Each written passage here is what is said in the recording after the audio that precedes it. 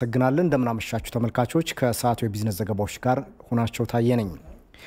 የግብይት ስርዓቱን ዘመናዊ ቀልጣፋና ተደራሽ ለማድረግ የሚያግዝ ሶፍትዌር በማልማት ለሙከራ ትግበራ ማዋሉን የአማራ ክልል ንግድና ገበያ ልማት ቢሮ አስታወቀ።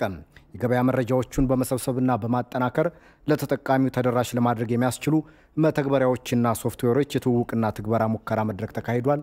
ይህነው ዋጋቸው ከባህር ዳር ተጨማሪውን አድርሶናል። የግብይት መረጃን በቀላሉ ለተጠቃሚው ተደራሽ በማድረግ ሻጭና ገዢ በመረጃ ላይ የተመሰረተ ውሳኔ ለመወሰን እንዲችሉ የሚያግዙ ሶፍትዌሮች የአማራ ክልል ንግድና ገበያ ልማት ቢሮ ከባህር ዳር ዩኒቨርሲቲ ጋር በመተባበር አልምቶ በሙከራ ደረጃ ወደ ስራ አስገብቷል። ዋጋ በኪሎ ግራም፣ የአበሻ ቀይ ሽንኩርት በኪሎ ግራም በባህር ዳር ዩኒቨርሲቲ መምህርና የሶፍትዌር ባለሙያ የሆኑት ሙሉ አለም ተመስገን ሶፍትዌሮቹ የገበያ መረጃዎችን ለመሰብሰብ ለማጠናቀርና በቀላሉ ተደራሽ ለማድረግ የሚያስችሉ መሆናቸውን ይገልጻሉ። እያንዳንዱ ወረዳዎች ካሉበት ከገበያ ቦታዎች ጀምሮ በየገበያ ቀኑ የገበያ መረጃው ይሰበሰብና እዚህ በቢሮ ላይ ይጠናቀራል። ለተወሰኑ ሪፖርቶች ምናምን ይሰራሉ። መልሰው ደግሞ ለአርሶ አደሩ ያን የገበያ ዋጋ መረጃ በአፍ መፍቻ ቋንቋው ማንበብ መጻፍ የሚችልም የማይችልም ኮምፒውተር መጠቀም የሚችልም የማይችልም ለሁሉም ሰው መረጃው ተመልሶ እንዲያገኝ የሚያስችል ሶፍትዌር ነው የሰራነው ማለት ነው። በውስጡ የመገበያ መረጃ መሰብሰቢያ ድህረ ገጽ አለው። በሞባይል application ም data ውን መሰብሰብ እንችላለን። ባለሙያው የተዘጋጁት ሶፍትዌሮች የህብረተሰቡን የትምህርት ሁኔታና ቴክኖሎጂ የመጠቀም ልምድ ታሳቢ ያደረጉ መሆናቸውንም ይናገራሉ። መልሰን ደግሞ የምናሰራጨው ልክ ወደ 8092ን በመደወል በአፍ መፍቻ ቋንቋው 24 ሰዓት በመደወል የገበያ መረጃው እንዲያገኙ ያስችላል። የሚመልስላቸው ሶፍትዌሩ ነው። ማንበብና መጻፍ የሚችሉ ደግሞ SMS ን በመጠቀም ለምሳሌ ወደ 8096 ጤፍ ስንት እንደሆነ ሆነ ማወቅ የሚፈልግ አንድ ነጋዴ ጤፍ ብሎ ሲልክ ጤፍ በተለያዩ የክልሉ ቦታዎች ስንት እየተሸጠ እንደሆነ በእለቱ ያንን የገበያ መረጃ እንዲያገኝ ያስችለዋል ማለት ነው። የአማራ ክልል ንግድና ገበያ ልማት ቢሮ ምክትል ኃላፊ አቶ አበባው ውቤ ሶፍትዌሮቹ ህገወጥ ተግባራትን ለመጠቆም የሚያስችል አገልግሎትም ስለሚሰጡ ህገወጥነትን ለመከላከል ፋይዳቸው የጎላ ነው ብለዋል። በተለያዩ ቦታዎች የተለያዩ የገበያ መረጃዎች ይሰራጫሉ። በክልል ደረጃ አማካኝ ዋጋ ይወጣል። አማካኝ ወረዳዎችም እንትን መረጃዎችም display ይደረጋሉ። እነዚህ display ከተደረጉ በኋላ የሸማቹን አማራጭ እድል ይፈጥራል። የጥቆማ ሶፍትዌር የለማለትም ከመሆኑ ጋር ተያይዞ ህገወጥነትን ከቀነሰ እዚያው ሳለ አንዱ ህገወጥነት ስለሆነ ኑሮን እያባባሰ ያለው ህገወጥነት ከቀነሰ የኑሮ ውድነት minimize የሚያደርግበት እድል ይፈጠራል ማለት ነው። የአማራ ክልል ንግድና ገበያ ልማት ቢሮ ኃላፊ አቶ ብርሃኑ ጣምያለው በበኩላቸው ዘመናዊና ወቅቱን የሚመጥን የገበያ መረጃ ስርዓት ለመዘርጋት በትኩረት እየተሰራ መሆኑን ገልጸዋል። የዚህ ሶፍትዌር ልማት ዛሬ ለሙከራ ተግባራዊ የምናደርገው ሶፍትዌር በክልላችን ለምንዘረጋው ህጋዊ ንግድ ስርዓትና ዘመናዊ የግብይት ስርዓት ትልቅ አቅም ይፈጥርልናል። የለሙት ሶፍትዌሮች ህብረተሰቡ በስፋት እንዲጠቀምባቸው የማስተዋወቅ ስራ እንደሚከናወንም ተገልጿል። ለኢቲቪ ይህነው ዋጋቸው ከባህር ዳር። በኢትዮጵያ አዲስ የመገበያያ የብር ኖት ተግባራዊ መደረጉ ህገወጥነትን ለመከላከልና ዘመናዊ የገንዘብ ልውውጥ ለማድረግ እንደሚያስችል አዲሱን የብር ኖት ሲቀይሩ የኢትዮጵያ ቴሌቪዥን ያነጋገራቸው አስተያየት ሰጪዎች ተናግረዋል። የኢትዮጵያ ንግድ ባንክም በተለያዩ ቅርንጫፎቹ ነባሩን የብር ኖት በአዲሱ የመቀየር አገልግሎት እየሰጠ ነው የሚገኘው። ሞላ ለማየው ተገልጋዮቹና የባንክ ኃላፊዎችን አነጋግሯል። እንደሚከተለው ይቀርባል። ብር ለማውጣትና ትናንትናም እንደዚሁ የተሰጠኝ አሮጌ ብር አስገብቻ አዲሱ ብር ተሰጥቶኛል እና በጣም ጥሩ ነው። መስተንግዶም ቆንጆ ነው። አሮጌ ብር ተመልሶ አዲሱ ነው። ገቢም ስንቀይርም ደግሞ አዲሱን ብር እየተሰጠን ያለው ወጪም ሳደርግ ደግሞ አዲስ ብር እየተሰጠኝ ስለሆነ በጣም አሪፍ ነው። መስተንግዶም ቆንጆ ነው። እንግዲህ ህገወጦች በዚህ አጋጣሚ እጃቸው ይሰበሰባል።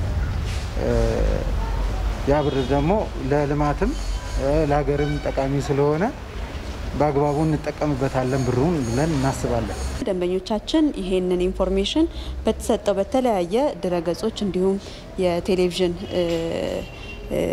አየር ጊዜዎች ላይ በማየት እየመጡ እየቀየሩ ነው ያሉት። ያንንም ደግሞ እኛ በሙሉ ዝግጅት ነው እየጠበቅን ያለ ነው። ስለዚህ በሚመጡበት ሰዓት እጃቸው ላይ ያለውን ገንዘብ ይዘው ይመጣሉ። አብዛኞቹ already information ኡን ይዘው እየመጡ ስለሆነ ወደ account አቸው ነው እንዳውም እያስገቡ ያሉት። በ cash ም ይዘው የሚመጡት ግን እያስተናገድን ነው የምንገኘው።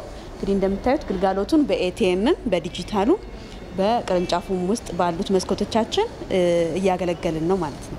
ለሀገራችን ትልቅ ነገር ነው ብዬ አስባለሁ። አንደኛ ሰው ብዙ ጊዜ እኛ ሀገር በእጅ ነው ብር የምንጠቀመው እና like አሁን ደግሞ ብሩ more በኤሌክትሮኒክስ እንዲሆን ስለሆነ ያው ሰው በሰው እጅ ላይ ብዙ ብር እንዳይኖር የሚደረገው ሀሳብ ብሩን ከመቀየሩ አንጻር ያው ብዙ የንግድ ሁኔታውን easy ያደርገዋል ብዬ አስባለሁ።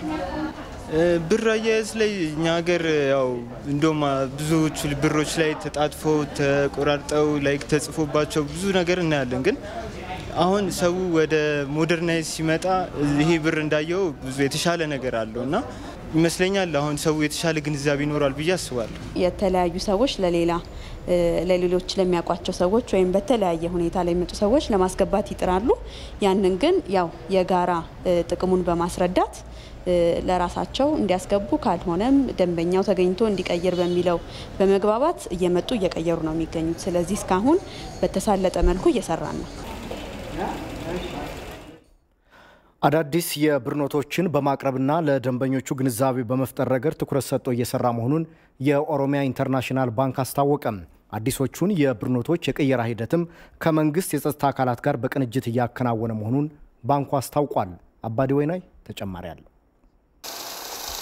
ባንኮች አዲሱን የብር ኖቶች ከብሔራዊ ባንክ በመቀበል ለደንበኞቻቸው እያቀረቡ ይገኛሉ።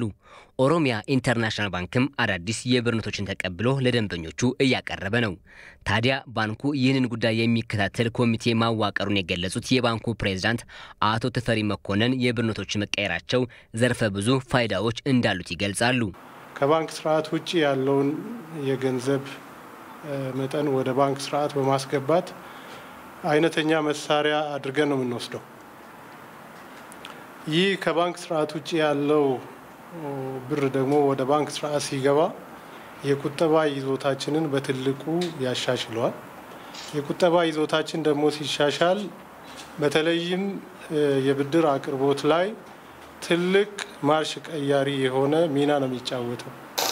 ደንበኞች የብር ኖቶችን በተቀመጠው የጊዜ ሰሌዳ መሰረት መቀየር እንዳለባቸው የገለጹት አቶ ተፈሪ ለጥሬ ገንዘብ ካልሆነ በስተቀር በባንክ ያለን ገንዘብ ለመለወጥ መምጣት እንደማይገባ ተናግረዋል። ለጥሬ ገንዘብ ለውጥ ካልሆነ በስተቀር ማህበረሰባችን በባንክ ያለን ገንዘብ ለመለወጥ ወደ ባንክ መምጣት አይጠበቅበትም። ይሄ በባንክ ያላቸው በቁጠባ ያላቸው ገንዘብ በማንኛውም ሰዓት ወደ ባንክ ቢመጡ አዲሱ የብር ኖት ነው የሚሰጣቸው።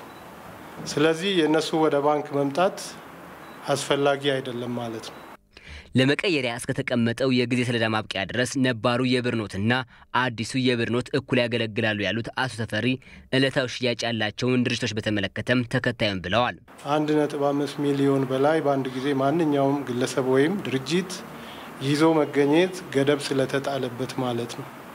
ሽያጭን በተመለከተ ግን በደንብ እንደ ቤተሰብ በሚያውቋቸው ባንክ ቅርንጫፎቻችን እየቀረቡ በማንኛውም ሰዓት ማስገባት ይችላሉ።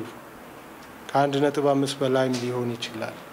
ሽያጭ መሆኑ ግን ከቅርንጫፎቻችን ጋር በደንብ መተማመን መቻል አለባቸው።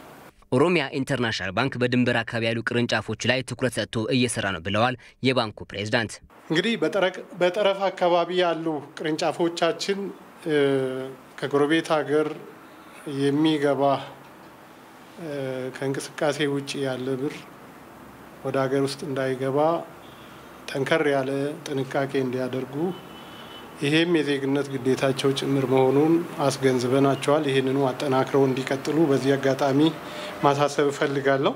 በውክልና የሚንቀሳቀሱ ሂሳቦች እስከ መስከረም አራት 2013 እና ከዛ በፊት ከመስከረም አራት 2013 በፊት በተሰጡ የውክልና ህጋዊ ውክልናዎች መንቀሳቀስ እንደሚችሉ ዛሬ ተጨማሪ መመሪያ ወጥተዋልና ይህንንም ለንግዱ ማህበረሰብ ግልጽ እንዲሆን እፈልጋለሁ። የጸጥታ አካላት ከባንኮች ጋር በቅንጅት እየሰሩ መሆኑ የተገለጸ ሲሆን አዲሱ የብር ኖቶችን አስመልክቶ ለደንበኞች የግንዛቤ ማስጨበጫ ስራዎች እየሰራ መሆኑን ባንኩ አስታውቋል። ተመልካቾች ለምሽት የነበረን የቢዝነስ ዘገባ በዚህ ተጠናቋል።